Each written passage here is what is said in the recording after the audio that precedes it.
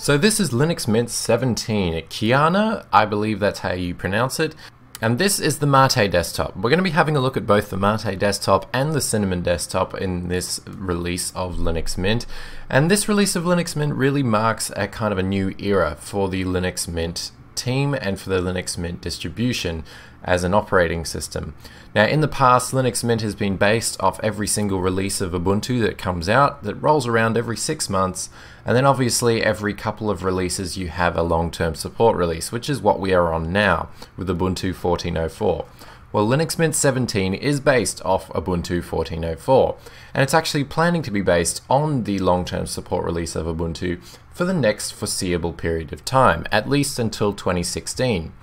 So, Linux Mint 17 is going to be supported by the Mint team until 2019. It's also going to be the base for all the future versions of Linux Mint until 2016. So this was a decision made by the Linux Mint team in order to chase a more stable desktop, a more predictable base, and be able to focus on the features that they want to improve in their desktop rather than chasing their own tail, trying to provide a stable release for each release of Ubuntu that rolls around. Now that they have a stable base, they're happy with it, now they're just going to keep improving it for the next couple of years. Now for me, I think this is a great move, and I'm going to talk about that a little more in the future, but right now let's just knuckle down into what is new with Linux Mint 17 and why you should be using it, especially if you're coming from a Windows XP background or Windows in general one of the things that you're going to be greeted by is the welcome screen. Now, Linux Mint has had a welcome screen for quite some time, but they've refreshed the look of it and added a few more options to it, making it, again, much more user friendly. We've got links to show you what new features are in the distribution, important information, a PDF user guide, and also restoring your backed up data, installing any additional drivers that you'll need to do, and also launching the software manager to install additional packages. You also have links to help like tutorials, the chat room, the forums, and then you also have options to donate if you want to. Now the Mate desktop or the Mate desktop, I'm going to refer to it as the Mate desktop even though I know technically speaking it's the Mate desktop. But there's way too much argument over that and I think it's beside the point. This desktop is based off the original GNOME 2 desktop that Linux Mint used to provide. Now, it was one of my favorite distributions back in the day where it did look like this by default, and the fact that they now provide this as a distribution that people can use that looks exactly the same as a Linux Mint distribution from back, you know, three, four years ago, I think is fantastic.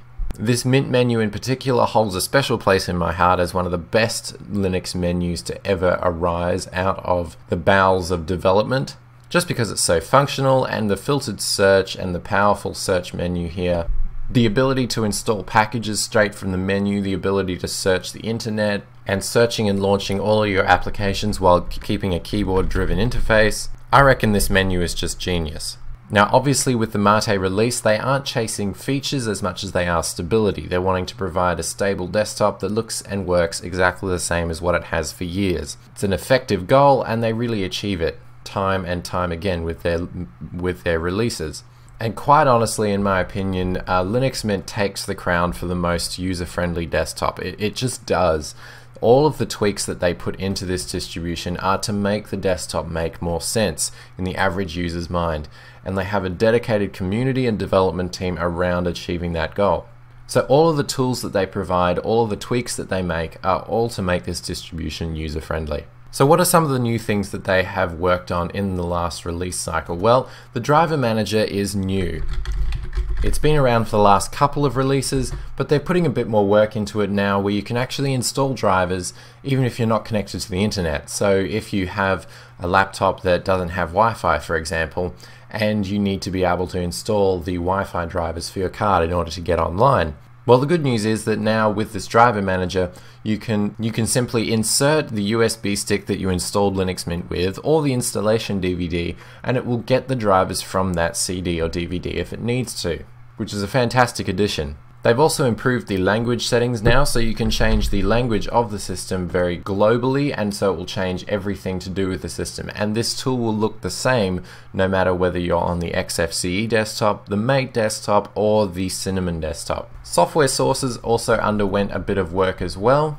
So after you give it a root password, you can jump in here and change the both the software sources for the Linux Mint repositories and for the Ubuntu repositories as well.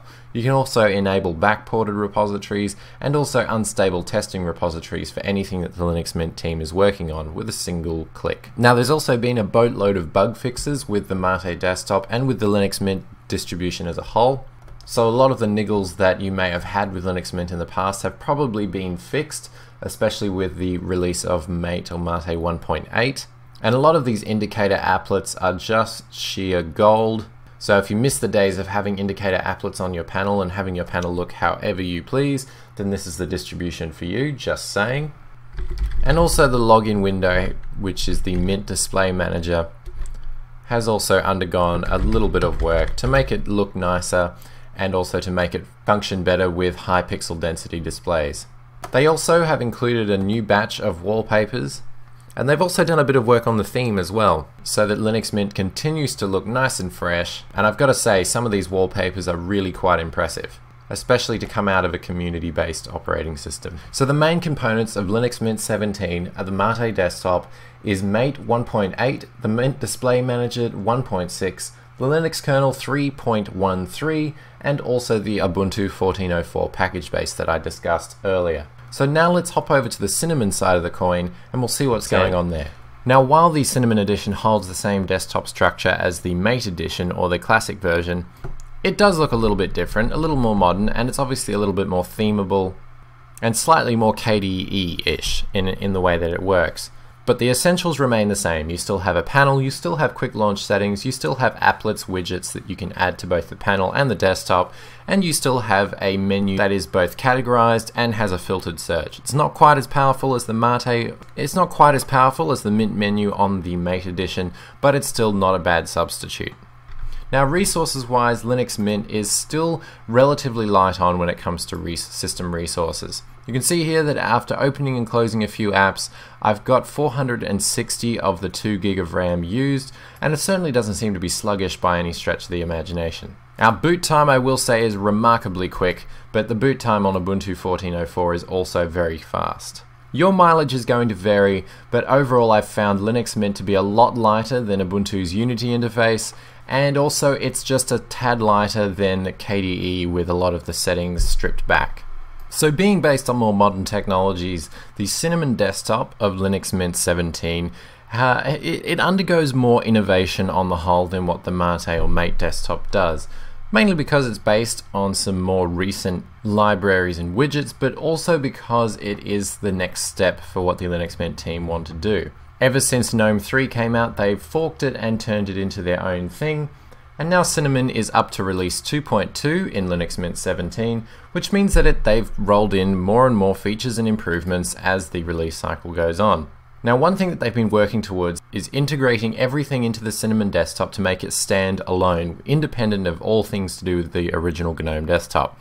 So now of course, for a few releases we've had all of the settings under one system settings panel, where you can have control over nearly everything to do with your system from appearance to software preferences to hardware to and to administration. Now all of these different settings categories all look pretty similar and they all work how you would expect them to. Obviously, it's worth mentioning that the theming abilities in Cinnamon set it apart from many other desktops nowadays, at least the ease of theming and how encouraged you are to customize your desktop to the way that you like it. Just by the sheer amount of settings in here, you can see that Cinnamon is a desktop that's supposed to be morphed into what you want it to be, not you having to morph your workflow into something that another third party company wants you to. Canonical. So a lot of the settings dialogues in these settings might have originated from the original GNOME desktop, but they've since been morphed to suit the Cinnamon desktop and what Linux Mint is trying to achieve. And that is a lot of customization and very scalable. One new feature that they have added with Cinnamon 2.2 is for high pixel density displays. So as you can see, it's scaled up the desktop considerably so that it looks at home on very high resolution laptops. They've also adjusted how the hot corners behave so that you can select the ones that you want to use, but it's not too intrusive or intimidating by default. They have settings for pretty much everything under the sun here, and then for hardware settings, it's most of the standard GNOME stuff, even though it is technically independent of GNOME. It's also worth mentioning the improvements that have happened to the update manager. No longer, no longer do you have to input your root password to launch the update manager, and no longer will it automatically refresh the update manager every time you launch it. This is this is one of the biggest gripes that I had with the Mint Update Manager in the past. So now I can definitely say that this is hands down the best update manager that there is under the Linux desktop.